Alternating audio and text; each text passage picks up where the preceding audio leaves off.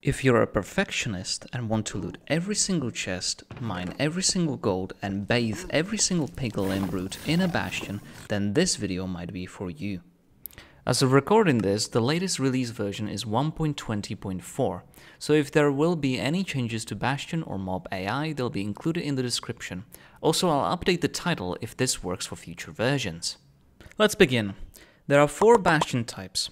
Treasure, which consists of two big ramparts and a giant box connected by a bridge that's above a lava moat. Housing, which has two ramparts with eight housing units. Bridge, which is a structure that resembles a piglin face with a gold chalice on its tongue.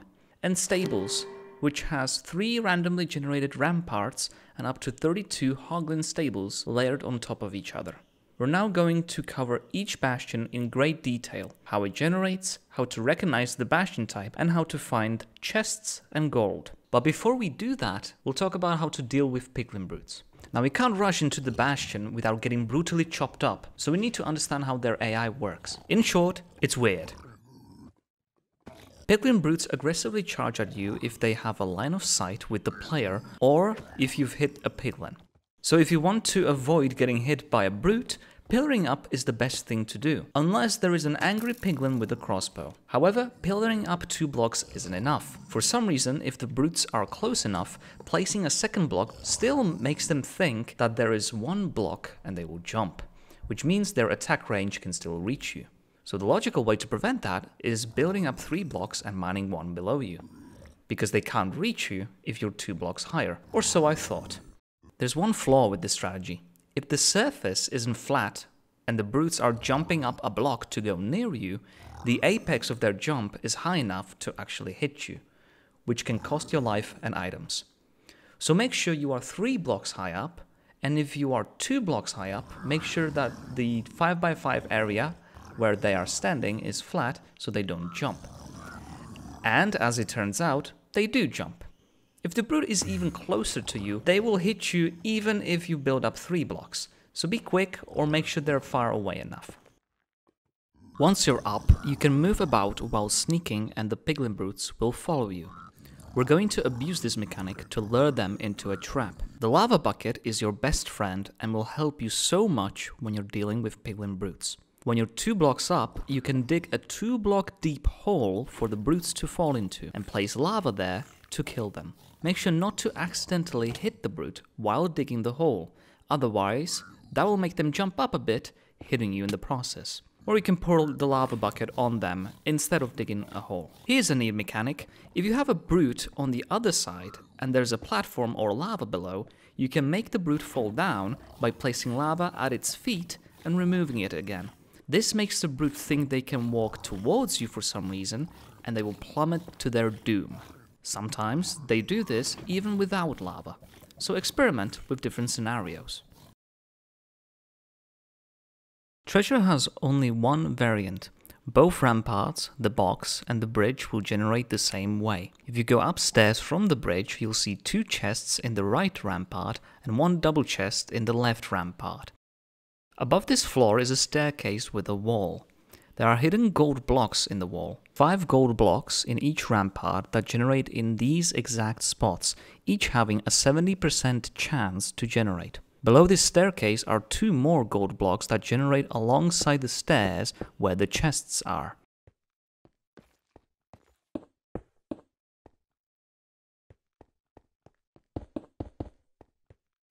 The leftmost gold block has a 70% chance to generate and the rightmost always generates. The bottom portions of the ramparts contain no chests and no gold blocks. The bridge always generates with two gold blocks. The treasure section of the bastion consists of three parts. The top floor, which doesn't generate anything valuable.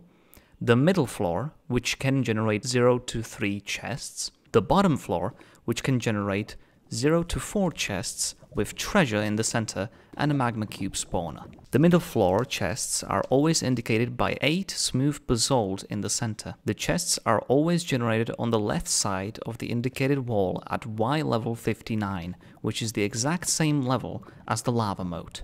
The bottom floor chests are always indicated by different chain length of the lanterns.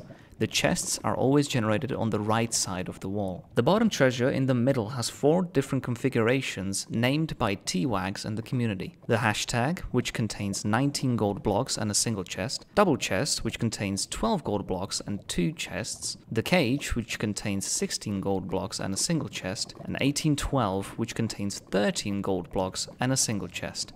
Any chest generated in these four configurations will always contain a netherite upgrade smithing template alongside with very decent loot, mainly diamond armor and netherite. There are three sections where piglin brutes appear. Let's start with the bridge section, since this is the best place to start raiding this bastion type. Start at the moat and mine these three out of four blocks, keeping only the third one. Then count three blocks and pillar up here. Once you pillar up 6 blocks in total, place a block next to this one and mine these two blocks so that the brutes cannot reach you from here and continue pillaring up to the gold block. Check your surroundings for any piglins with crossbows, so you won't get shot off and potentially die and mine the gold block. Alert all piglin brutes in the bridge section. At most 3 brutes can generate here. Sometimes they will get replaced by a sword-wielding piglin. Stand on the pillar you built and sneak to the lower left corner of the pillar. This will trick the piglins to fall onto that one block we left, but most of them will fall into the lava below. Once all brutes are gone, you can pick up the second gold block. Don't worry about brutes landing on that block, as they will wait for your next move. Once you loot the entire bastion, you can claim your reward by mining that block below them. Sometimes you'll have an extra piglin brute from the rampart. Make him charge after you and go back to your pillar and trap him using the same method. Next is the rampart section. This one requires a setup. Go up here, mine these three blocks. Now if you have open terrain, mine out a hallway two blocks deep with a one block hole at the end. Here you will create the hole by mining two blocks down and placing two blocks to enclose it. Place two blocks here to help Piglin's path find, and create a bridge with four blocks. Place a gold block here, mine it, and wait. Hit a piglin once you see one. Hold shift so that the crossbow piglins won't shoot you. While they're falling, mine a 3 block deep hallway, walk to the end of it and come back. Some leftover piglins might fall in, then use the lava.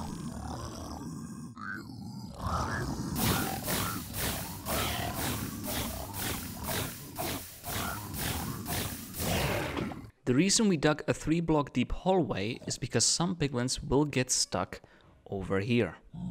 Because they think they can pathfind towards me.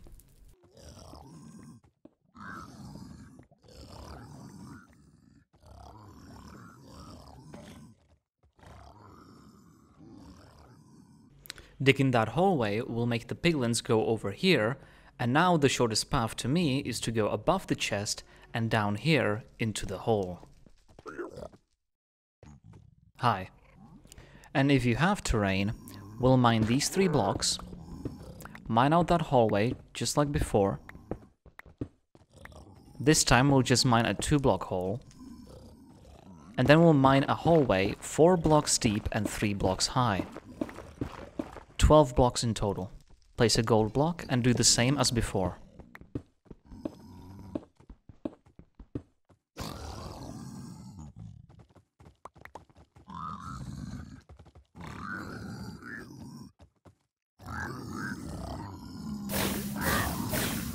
Once you don't hear a piglin brute, or don't see piglin brute in the subtitles, you can freely loot the chests above. Sometimes, due to how terrain generates, not all piglins will fall into the trap.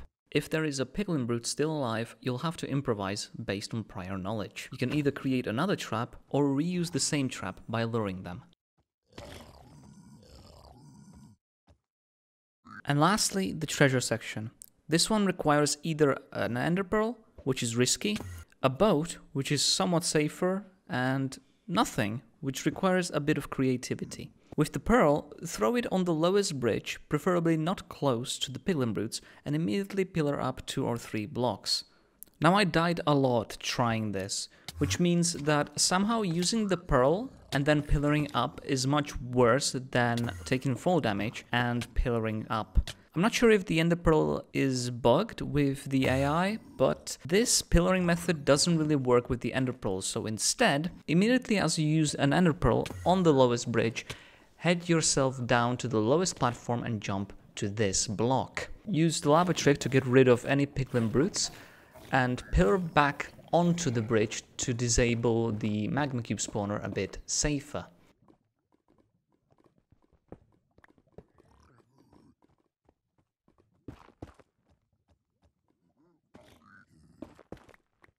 Once you handle that situation, jump down here and lure the piglin brutes exactly here and get rid of them with the lava bucket. If there are magma cubes in the way, get rid of them. With the boat, place it and fall onto the lowest platform of the treasure, which is always on the left when you enter the treasure section. Dismount the boat in the air and immediately head for the same spot. You can get rid of the brutes from this distance while being out of range from the magma cube spawner. Here's something to note when dealing with magma cubes. The large magma cube will die on a fully charged hit and a critical hit with a stone axe. The medium magma cube dies when your axe is more than halfway charged, and the small magma cubes can be killed with spam clicking. If there are brutes on the bridge above, you can jump to this block, and most of the time the brutes will fall onto a block or into lava. Otherwise, go to the bridge. Lure the brutes below if necessary and mine the spawner. If you don't like using the pearl or the boat, and there are multiple bridges, then you can jump on them as you go down. If there are no bridges, then use blocks to go down. Beware of piglin brutes that might be nearby, and use one of the previous strategies to get rid of the brutes.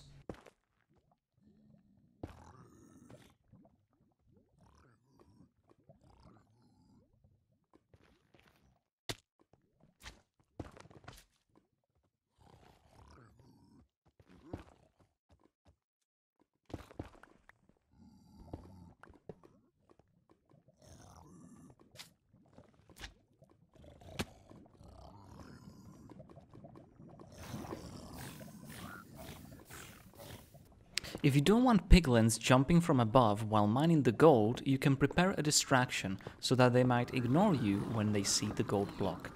There's also a funny bug that occurs where piglins make excessive noise due to bug MC-252486. If you got chests generated in the bottom or middle floor, then most likely than not there will be brutes. For the bottom floor, lure them towards the lava, and using the lava trick they'll fall right in. In the middle floor, if you find a brute that is lower than the chest, then you can ignore him because he can't get to you when you loot the chest. Otherwise, you can place another rack and mine them below him. Or if you're approaching from the bridge, you can lure them to go below and not reach you anymore. And that's all there is to know about the treasure bastions. Here's a demonstration on how looting this bastion looks like. For all demonstrations, I'll have an unenchanted iron pickaxe, a stone axe, a stone shovel, a lava bucket, two stacks of blocks, a good food source like cooked pork chop or steak, a boat, some wood and a crafting table. I also have iron armor equipped with a gold helmet so that regular piglins won't attack me. Note that gold and iron helmets have the same armor value. First we're gonna get rid of the piglin brutes on the bridge.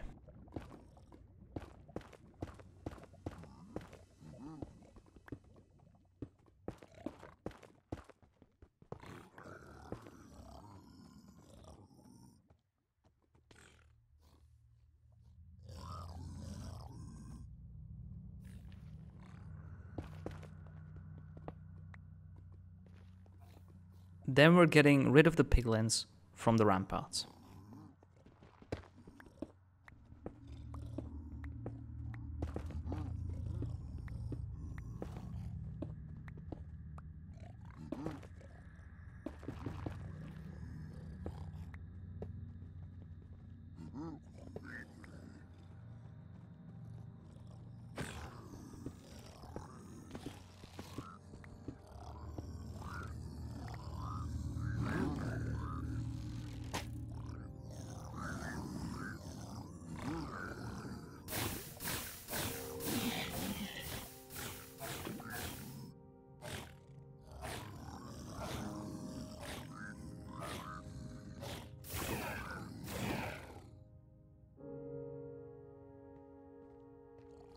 Noticed the piglin brute still alive, so I waited for him to notice me.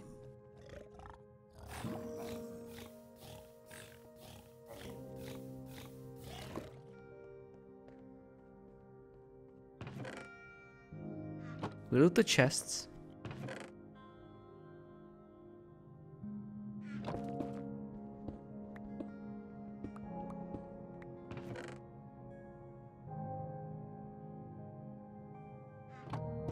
And start digging the gold blocks.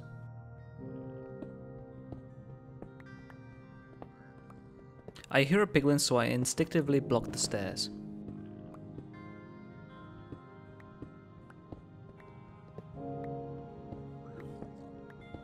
In this rampart you can dig down to y equals 83 and dig out of the wall and then grab the guaranteed gold block.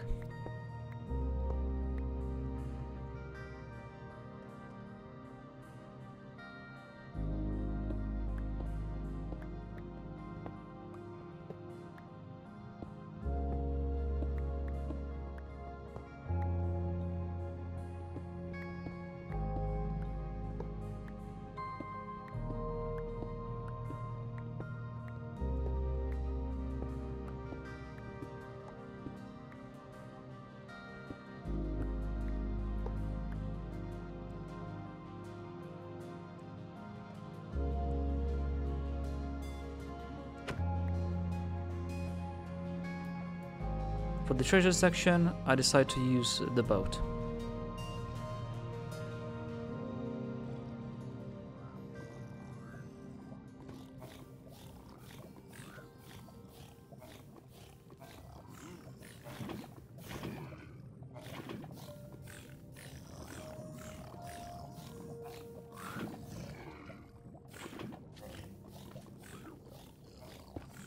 Once I was certain there are no piglin brutes, I decided to disable the spawner.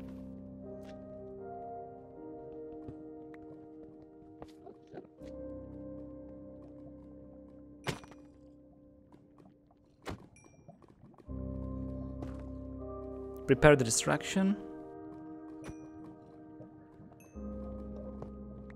And mine the gold.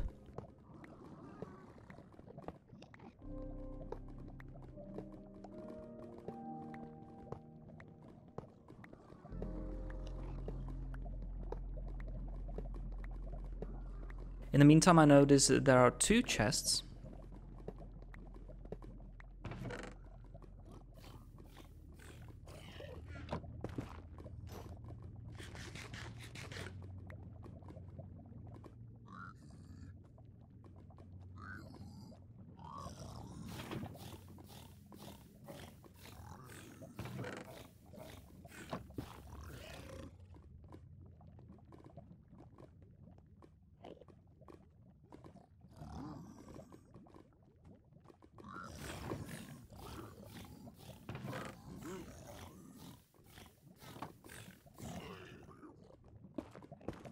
Pillar up. I see basalt. So I build up 16 blocks in total. That's the number of blocks to get to Y59.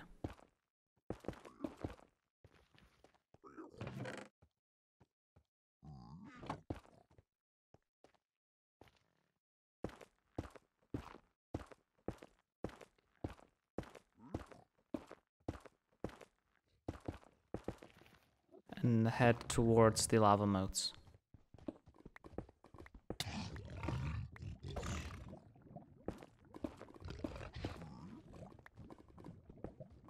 And I'm done with the treasure bastion. Housing has three variants. The right rampart is always the same and contains three chests. The left rampart either generates without a chest, a single chest, or a triple chest, just like the right rampart.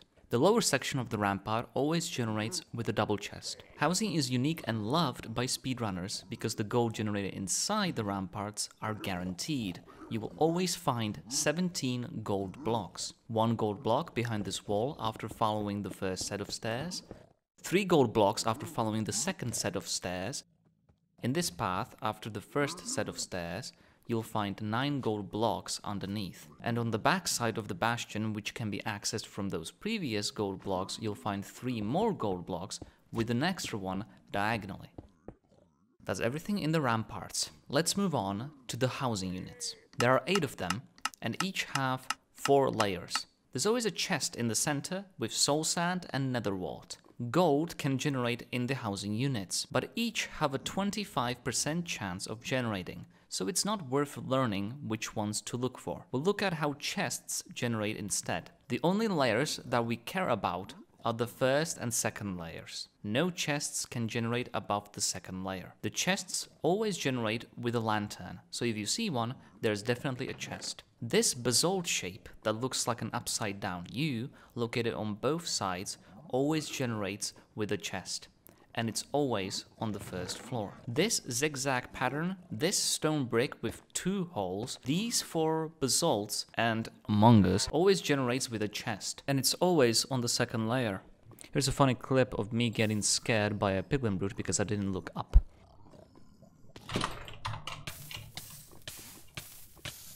And now for the demonstration. So I use a generic strategy for the remaining three bastions because I haven't found a proper one that works in every scenario like the treasure. Therefore, I had to improvise a lot and uh, it really depends on how uh, the nether generates and how many piglin brutes generate because sometimes they get replaced by regular piglins and sometimes there are piglin brutes. Now here we can uh, take inspiration from treasure and mine a hallway to trap the piglins just like we did before. So that's what I meant by generic strategy. In this case, there are no piglin brutes, because you're not gonna get a piglin brute every single time.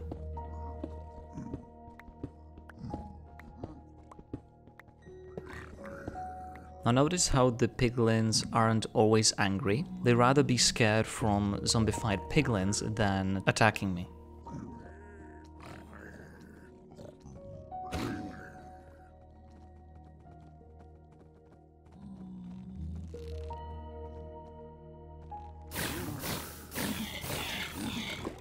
Now heading up those stairs for those three gold blocks.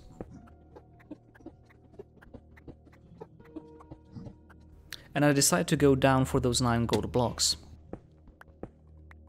You put a block above you so that piglins won't drop down once you start mining the gold. Now you can loot the chest from here if you haven't already.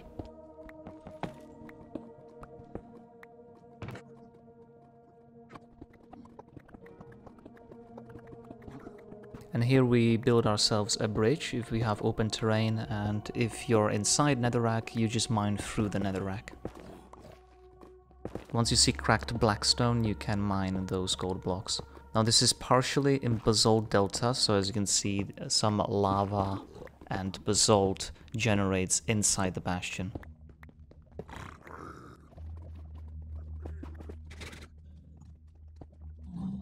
Now for the piglins up here, we're going to use lava, so we put two blocks here to stop the lava from flowing down.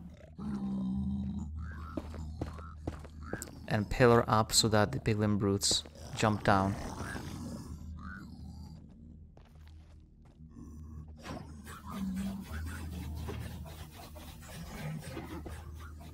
Get rid of the piglin so that he won't get angry at me once I open the chest.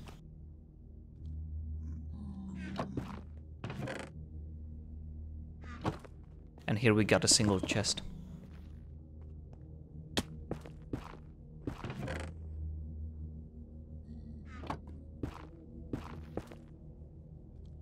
Now I decided to do the chest last, but you can do it right from the start. So I noticed three chests. All of them have the upside down U, so you notice immediately that you have three chests.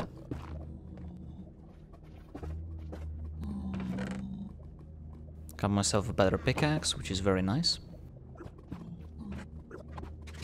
And now I'm searching for the second layer, if there are any chests. And I found one, it's the zigzag pattern. And that's the whole bastion done. Here's a clip of me getting rid of a piglin brute that is chasing me.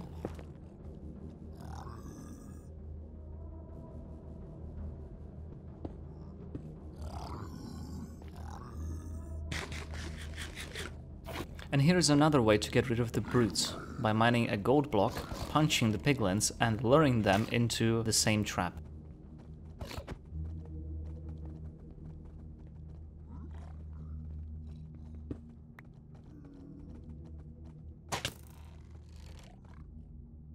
And here are the housing units without lava, and me creating a trap for the piglins.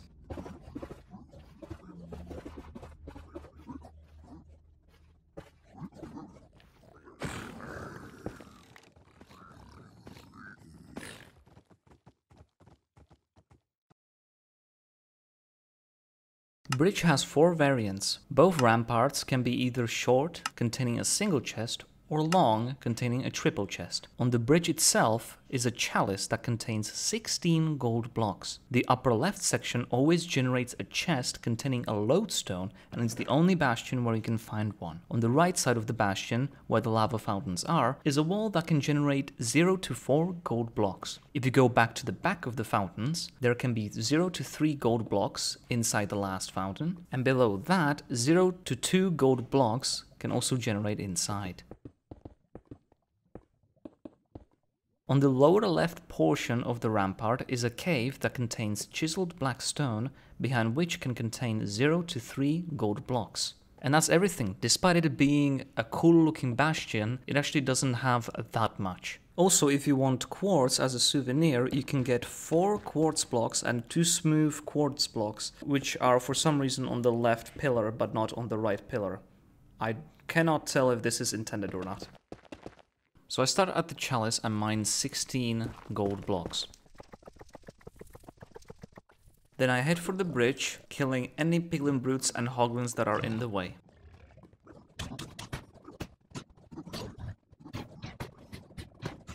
Then from here we're gonna pillar up to this lava fountain. If there are brutes, you can get rid of them like this.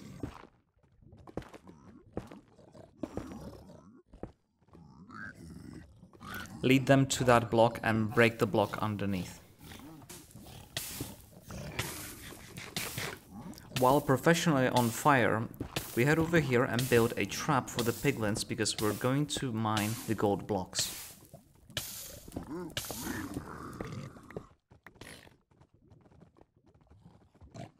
Anger the piglin brutes.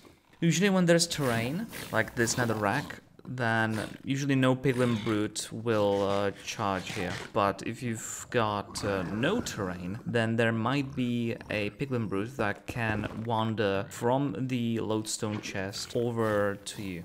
Now we have a triple chest here and we just pour lava on the piglin brutes. They're dumb enough to fall down.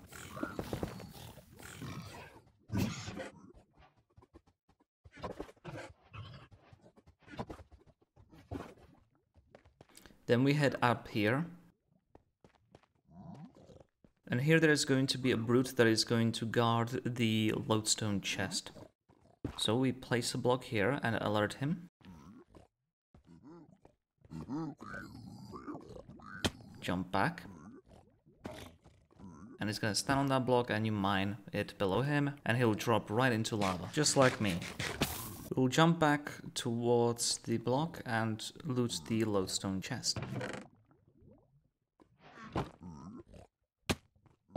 So if you mine this netherrack and there is air, you have a triple chest, otherwise you have a single chest. If it's a single, we will mine through this hallway, and once we see netherrack after the stone bricks, we can dig down towards the single chest. Then right on this stone brick we will mine forward and once we see netherrack on the ground we're going to mine forward and down until we see the part of the bastion.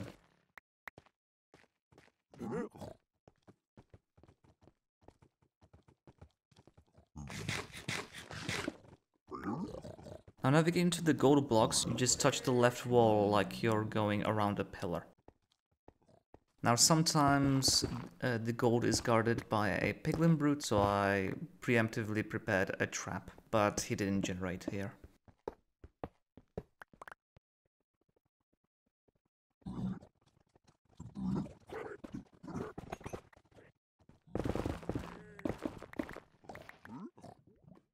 Before we go for the gold blocks, we will get rid of any piglins that are nearby. So we're gonna go towards the chiseled blocks and we're gonna mine these two and then we will place two blocks over here and get the gold blocks if any generated. We've got two out of three. Then for the rest of the gold we're gonna place this block here, mine it once lava isn't next to it, then mine the block below it and then dig down. If you mine the blocks too quickly, then the lava will spread, so mine it slowly. Then if you mine behind this wall, you will find up to two gold blocks. And once you're done, you can leave the bastion or take those six quartz as a souvenir. Here's a case where a piglin brute spawned on a bridge, and how to deal with him.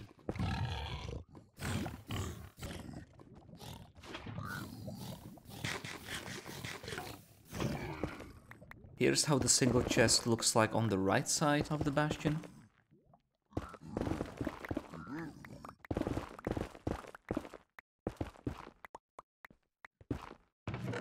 Here's the triple chest on the left side.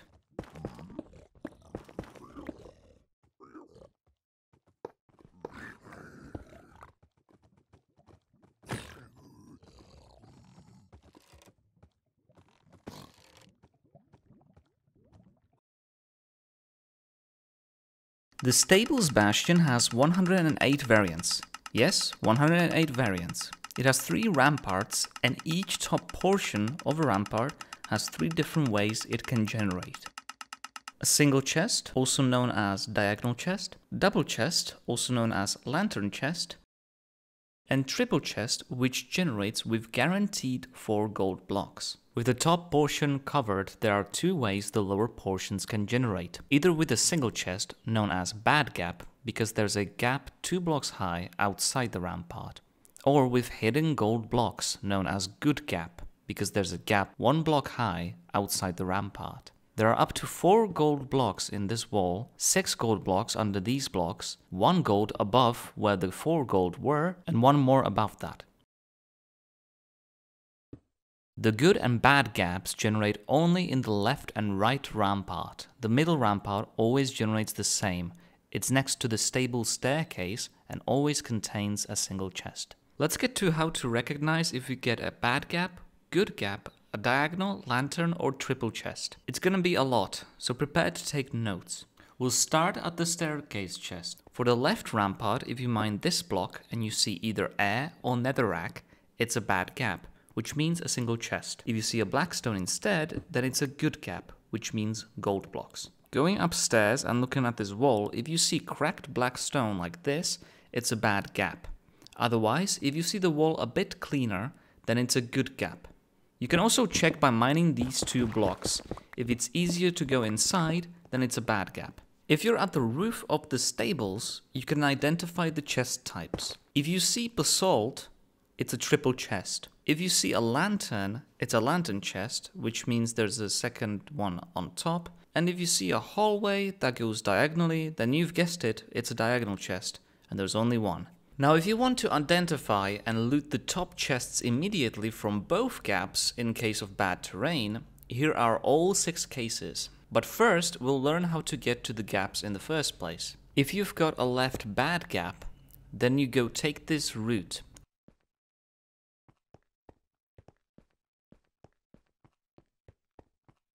Seeing a netherrack or air confirms that you've got a bad gap, and you can access the chest from the back. If you've got a right bad gap, then you mine these two blocks and go down the stairs to access the chest. If you've got a left good gap, then you go upstairs and mine these two blocks to create a hallway and then go downstairs for the gold.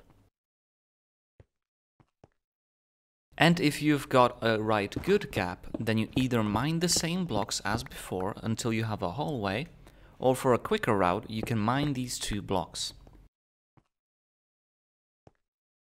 Now for the six cases. Let's start with the bad gap.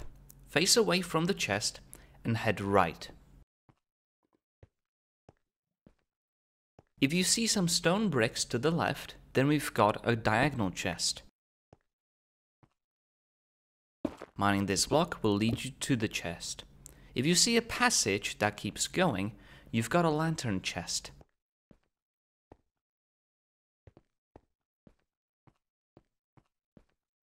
The second chest can be accessed if you mine up next to the lantern.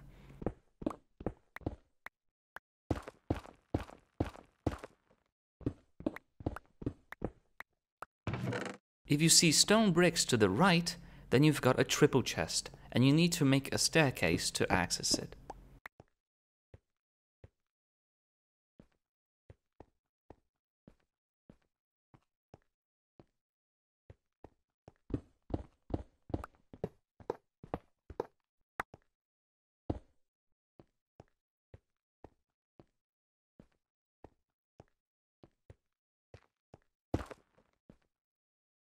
Let's move on with the good gap. From the gold, head upstairs until you get to your familiar hallway. To your left is where you'll go to the chests. If you see a passage, you've got a diagonal chest. Same strategy as with the bad gap. If you mine this block and create a stairway, then see a nice flat surface with a lantern on the left then you've got a lantern chest. If you mine this block and create a stairway, then see a lantern above and to the right, and the floor is not so flat, then you've got a triple chest. Now that you're familiarized with the ramparts, let's move on to the stables themselves. Just like with housing, we'll ignore the gold blocks because they also have a 25% chance of appearing. You'll mostly find one or two gold blocks on average. The stables are composed of four floors or layers, each having four outer stables and four inner stables with a staircase connected in the middle. There are two out of nine inner stables that contain a chest, the rest are empty. This means that a stables chest have a 22.2% chance of generating, which means the chests only generates in the inner stables and are always indicated by two lanterns that are offset by one block. So, if you're looking from this angle and you can count two lanterns next to each other, you have a stables chest. Because of how randomized this bastion is, I'll divide many examples into parts.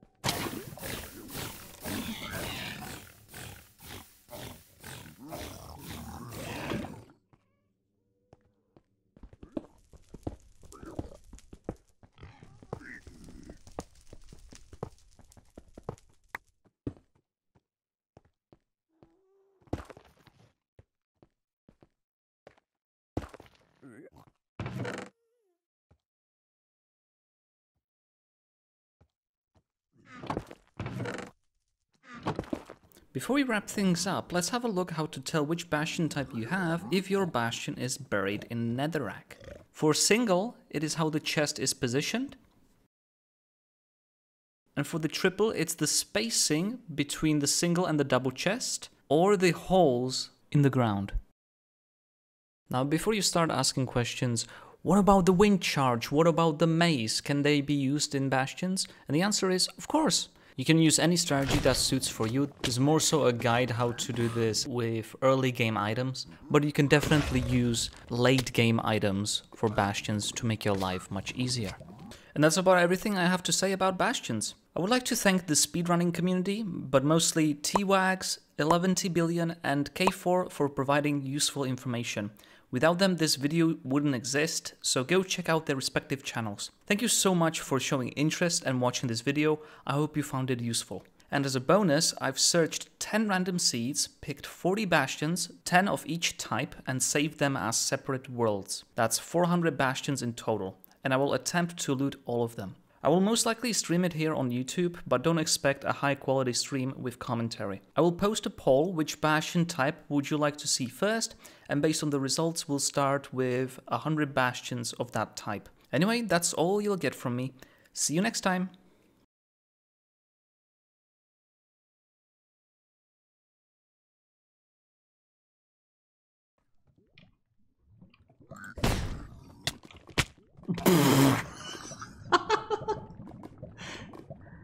Oh.